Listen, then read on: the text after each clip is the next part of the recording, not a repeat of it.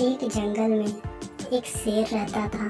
शेर रोज नए नए जानवरों को मारता और उन्हें खाता था। एक दिन शेर के पास एक चूहा जा पहुँचा। शेर ने कहा, तुम्हारी इतनी हिम्मत कि तुम मेरे सामने चूहा कहा, क्षमा प्रभु, क्षमा। हे वनराज मैं अब कभी यहाँ पर नहीं आऊँगा। लेकिन शेर इतनी क्रोधित में आकर के उसने चूहे को अपने नुकीले दांतों से दो भागों में बांट दिया। वैसे भी शेर को जंगल का राजा कहते हैं।